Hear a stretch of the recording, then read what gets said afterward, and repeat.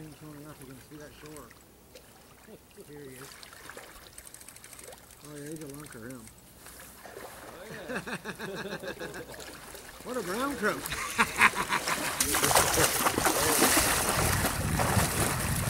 Hi, big guy.